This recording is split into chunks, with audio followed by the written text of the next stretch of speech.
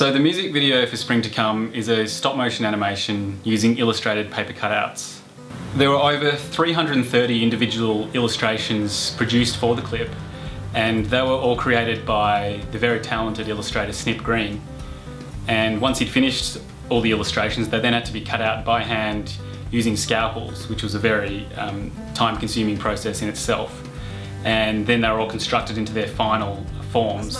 And some of them, such as you know the characters and the animals, uh, had to be um, made using movable joints uh, so that they could be posed in various positions to be animated in each scene, which took about two months in total.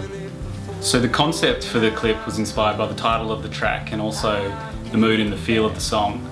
And basically the story is about this earthbound spirit who is searching for his wife called Spring.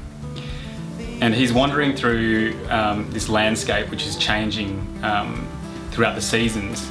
Also within the story there are these life cycles that are going on and they're a great visual element for the clip and serve as a backdrop for the main character.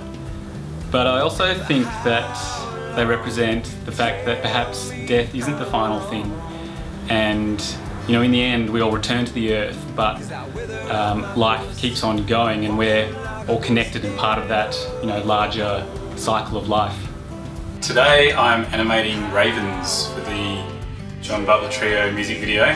Um, it's all cut out sections so that I can move the wings and the claws and, and the body around. I've been doing some flight cycles and also some uh, other ravens who are kind of like picking at a carcass on the ground and they're all um, done on a, on a green background so I can composite them in later uh, into the scene that I want them to be in. So this guy's going to be standing on a a, um, a tombstone and then he flies off.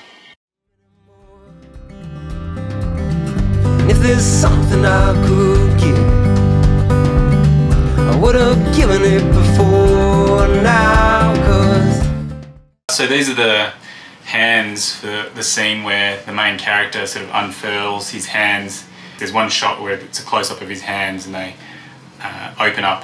Uh, it's actually sandwiched in between um, a piece of uh, flashing, a roof flashing, so I can bend the fingers and they stay in position.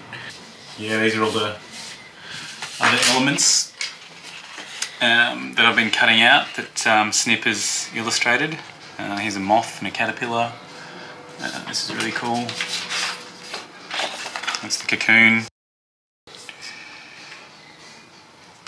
So a lot of cutting with scalpels and intricate little sort of details that need to be cut out. So this is the animation stand and it's basically some steel shelving that uh, I've got four pieces of perspex that I can um, layer.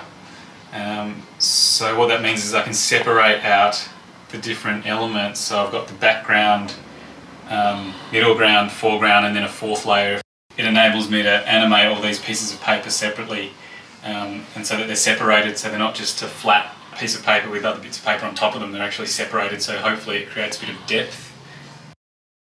At the moment, my aim is to shoot 10 to 12 seconds a day of animation, uh, just to make sure I get it done in time, uh, which is quite challenging because it's a very time-consuming process.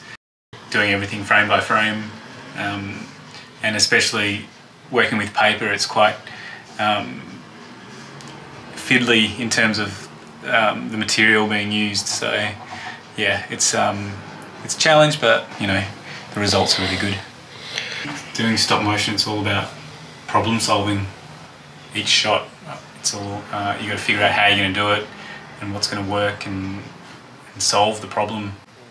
So yeah, it's a challenge, but I, I like the finished result and I like the look of the handmade aesthetic.